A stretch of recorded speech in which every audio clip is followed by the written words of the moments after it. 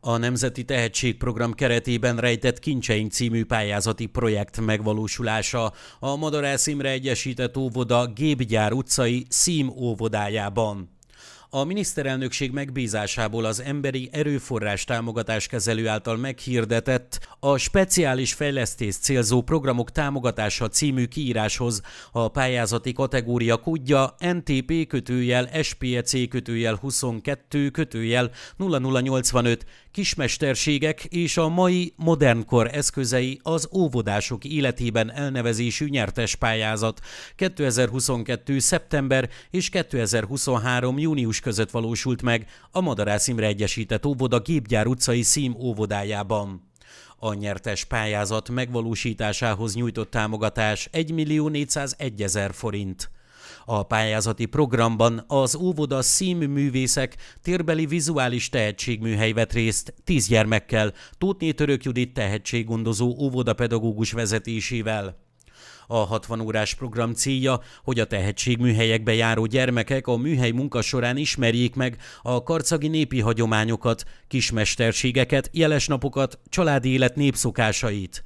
Élmény és múzeumpedagógiai módszerek alkalmazásával, helyi népművészek munkáinak megismertetésével, a kun értékek átörökítése, a kun öntudat megéreztetése, erősítése.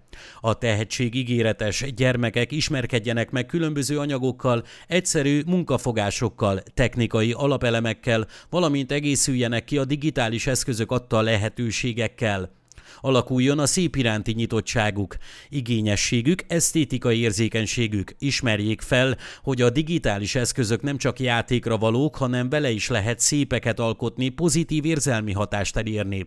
Fejlődjön szabad önkifejező képességük a pozitív érzelmi viszonyok kialakításával, erősítésével, a kunnép hagyományok megismerése által. A gyermeki személyiség harmonikus fejlődése érdekében vidám hangulatú, ötletgazdag alkotó tevékenység kialakítása, ahol a gyermekek jól érzik magukat, szívesen vesznek részt az alkotó tevékenységekben.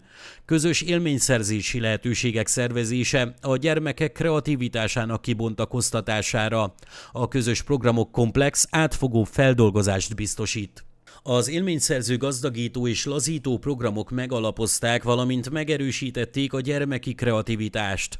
Megtekintettük a Györfi István Nagykun Múzeum kiállítását. Csatlakoztunk a Szent Pál Marista Általános Iskola farsangi felvonulásához. A Debreceni Egyetem Karcagi Kutatóintézetében a fákkal körülölelt ösvényen sétálva csodálhattuk meg a tájunkra jellemző növényeket és állatokat. Ellátogattunk a szélmalomhoz, ahol megismerhettük a Molnár szakma nehézségeit és csodálatos eszközeit. Végül pedig Debrecenbe utaztunk el a Vojtina Báb színházba, ahol a Szőlőszem Kálmán mesedarabot nézhettük meg, majd a főtéren egy nagy séta után tértünk vissza élménybeszávolóval az óvodánkba.